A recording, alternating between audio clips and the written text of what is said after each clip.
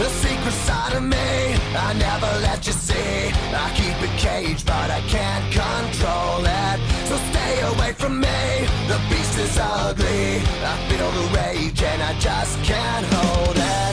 It's scratching on the walls In the closet in the halls. It comes awake